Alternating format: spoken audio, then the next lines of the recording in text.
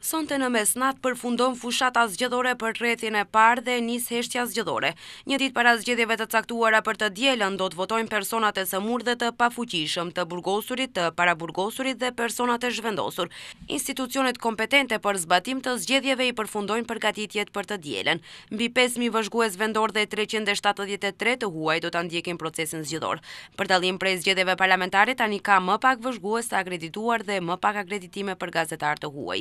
Listat zgjedhore, listat e votimit, kutitë e votimit dhe vulat janë dorëzuar nga Komisioni Shtetëror i Zgjedhjeve tek komisionet komunale zgjedhore për zgjedhjet lokale të caktuara për të dielën. Sipas afatit zgjedhor, komitetet komunale obligohen një ditë para zgjedhjeve ta dorëzojnë materialin zgjedhor tek bordet zgjedhore. Zgjedhjet e së dielës janë zgjedhjet e gjashta lokale në Maqedoni. Ato do të zbatohen në tre mijë e katërqind e tetëdhjetë vendvotime në tetëdhjetë komuna dhe në qytetin e Shkupit. Fushata për rrethin e parë zgjedhor ka filluar më njëzet e pesë shtator dhe përfundon sonte në mesnatë. Rrethi i dytë i zgjedhjeve është përcaktuar për dy javë më vonë më njëzet e nëntë tetor. Fushata zgjedhore për rrethin e dytë përfundon më njëzet e shtatë tetor në orën njëzet e katër.